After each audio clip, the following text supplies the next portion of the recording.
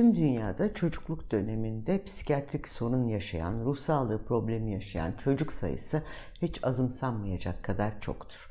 Bu nedenle çocukların bu hastalıklara, bu problemlere yakalanmasını önlemek, onları tedavi etmek kadar hatta bazen ondan çok daha önemli hale gelir. Zaten bildiğimiz bir gerçek, hekimin birinci görevi hastalıkları tedavi etmek değil, insanları hastalıklardan korumaktır. Çocukluk döneminde görülen ruh sağlığı problemlerinde çeşitli risk etmenleri vardır. Risk faktörlerini üç temel başlık altında toplamak mümkündür.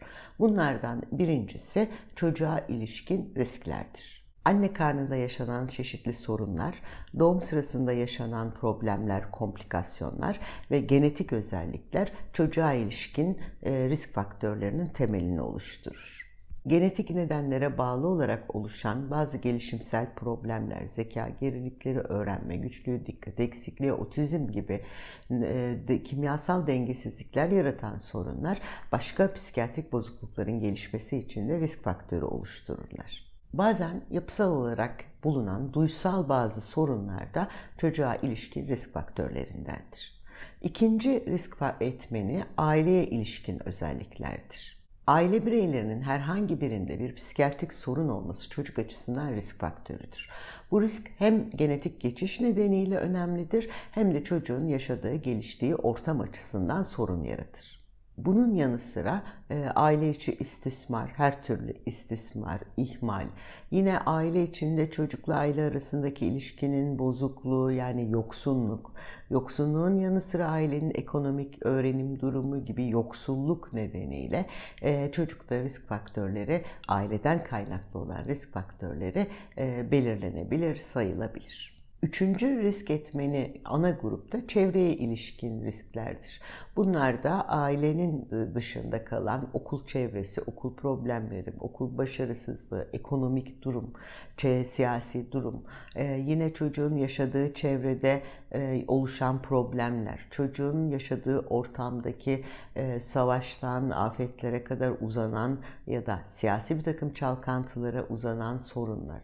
Daha basit olarak çocuğun yaşadığı çevrede yaşıtları tarafından dışlanması çocuğun çevresel olarak etkileyen risk faktörleridir. Çocuktaki psikiyatrik problemlerde risk faktörleri olduğu kadar çocuğu koruyucu etmenler de mevcuttur çocuğun e, zihinsel, bilişsel ve duygusal olarak sağlıklı gelişimi çocuğun e, koruyucu etmenlerden bir tanesidir. Bunlar sağlıklı gelişen çocuklarda psikiyatrik problemlerin görülme oranları düşmektedir. Aile ilişkin özelliklerle de daha e, aile ilişkilerinin iyi olduğu, çocukla ilişkilerin iyi olduğu, ailenin sosyoekonomik durumunun çocuğun bazı eksiklerini ya da ihmalini gerektirmeyecek düzeyde olması, ailenin eğitim eğitim durumunun çocukla olan ilişkiyi olumlu olarak etkilemesi e, aile açısından koruyucu etmenlerdir. Tabii ki en önemli şey ebeveynlerinin çocukla sağlıklı ilişki kurabilmesi ve çocuğun yaşamını sağlıklı bireylerin arasında sürdürmesi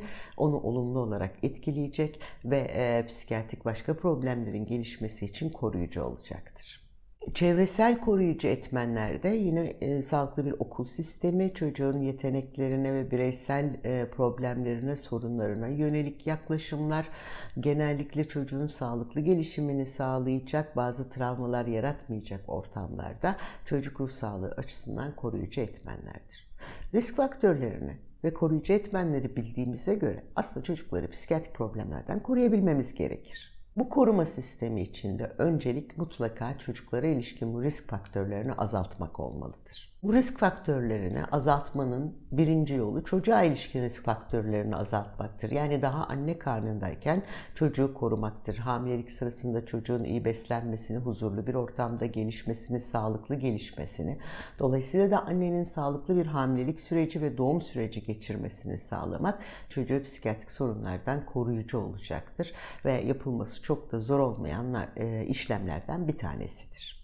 Yine erken dönemde ruh sağlığı açısından problem yaratabilecek sorunların hemen tespit edilmesi, ailenin ve çocuğun uygun merkeze kısa sürede ve kolayca ulaşabilmesini sağlamakta e, en önemli koruyucu ve sorun ortaya çıkmadan müdahale edilebilen sistemlerdir. Okul öncesi eğitimin yaygınlaştırılması, çocuğun aile dışında başka bireyler tarafından gözlenerek erken dönemde sorunların ve risklerin saptanarak henüz e, çok büyük problemler oluşmadan çözümlenmeye çalışması da çocuk ruh sağlığını koruyucudur.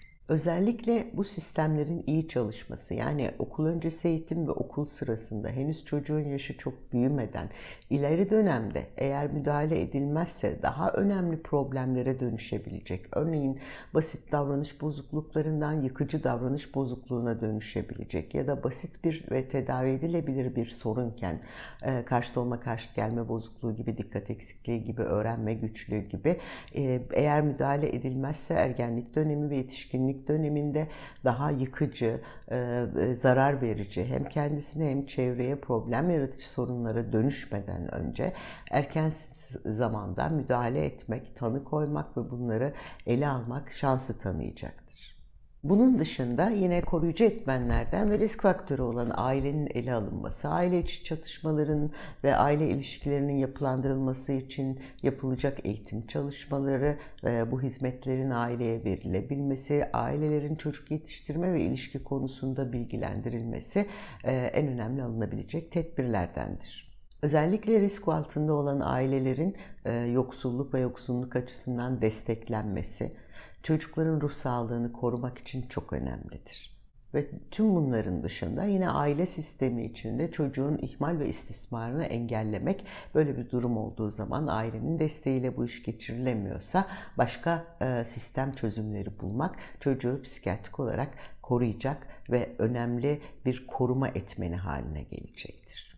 Yine önemli olan şeylerden birisi özellikle çevresel açıdan kötü olan yerlerde tedbir almak gerekir. Sağlıklı okul düzeni bir koruyucu etmenken e, okul başarısızlığı bir risk etmeni olarak karşımıza çıkar. Dolayısıyla çocuğun okul sistemin içinde kalmasını sağlamaya ve çocuğa uygun bir okul sistemi oluşturmaya çalışmak.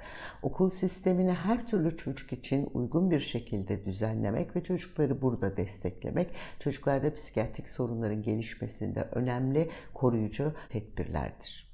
Özellikle eğitim sistemin içinde kalamayan çocukları bu eğitim sistemin içine sokmaya çalışmak önem kazanır. Bunun dışında çocuklara çevresel olarak doğru sağlıklı ortamların sağlanması, özellikle yoksulluk, ekonomik koşullar ya da bir takım e, başka etmenler nedeniyle bozuk olan çevrelerin düzenlenmesi, çocuklara daha fazla oyun oynayabilecekleri, spor yapabilecekleri, aktivite yapabilecekleri alanlar sağlanması çocukların ruhsal sorunlardan korunmasını sağlar.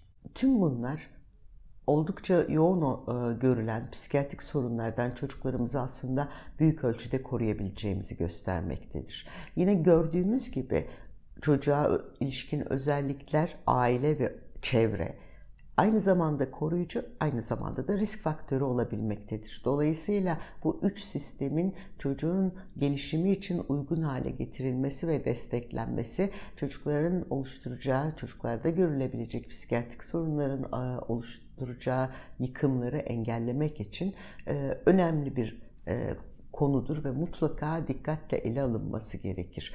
Aile içinden başlayıp çocuğun yaşadığı sistemi dışarıya doğru okul ve çevre olarak düzenlemek çocuk açısından en önemli koruyucu tedbirdir. Bir ülkedeki dünyaya gelecek her çocuk daha anne karnına düştüğü andan itibaren takip edilmeye başlanmalı. Bireysel e, riskleri engellemek için anne karnındaki takipleriyle çocuğun sağlıklı gelişimi sonra sağlıklı bir doğumla dünyaya gelmesi sonra da belli aralıklarla e, okulun da katılıp çevrenin de katılmasıyla birlikte e, çocuğun uzun bir dönem e, belli e, süreçlerde riskler açısından ve etmenler olumlu ya da olumsuz etmenler açısından izlenmesi e, iyi bir sistem olarak gözlenebilir. Dolayısıyla aslında yapmak çok da zor olmayan bu sistem çocuklarımızın geleceklerini dolayısıyla ülkelerin geleceklerini koruyucu bir sistemdir. Yani basit 3 tane kontrol edilebilecek sistemi iyileştirmek, çocukların psikiyatrik sorunlarla daha az karşılaşmalarına, sadece bir takım genetik, yapısal ve bunların dışında da oluşabilecek sorunlarla mücadele etmelerine, dolayısıyla da sağlıklı bireyler olarak gelişmelerine ön ayak olacaktır. Temel olarak ailenin bu konuda eğitilmiş olması ve aile sisteminin iyi olması. Ailenin yetmediği zaman okulun ve diğer koruyucu sistemlerin araya girmesi.